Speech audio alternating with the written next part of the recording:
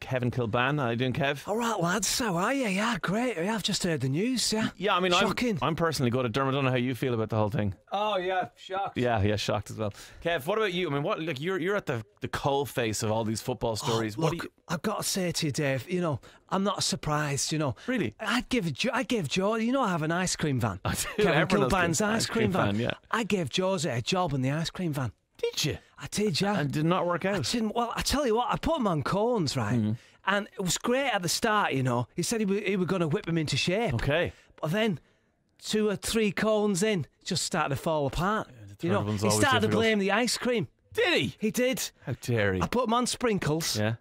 He put all the sprinkles at the back, nothing up front. Just it, it, it wasn't working out. It doesn't sound like it. No. So uh, can I sing me song? You've got an ice cream fan song about Jose Mourinho. Absolutely, yeah. You oh, are yeah. on the ball, Lads, Kevin I'm, I'm just delighted. I always bring the ice cream van with me, Dave. Okay, well, you ready to go? Here, Yeah. yeah, here we go.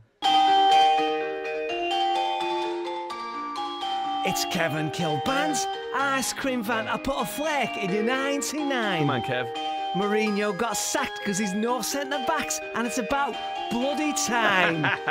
it's Kevin Kilbane's ice cream van, and, And yes, yes, I, I washed washed me me hands. hands. He has, you know, thanks, Good Kev. luck, Jose. That's what I and say. Dave.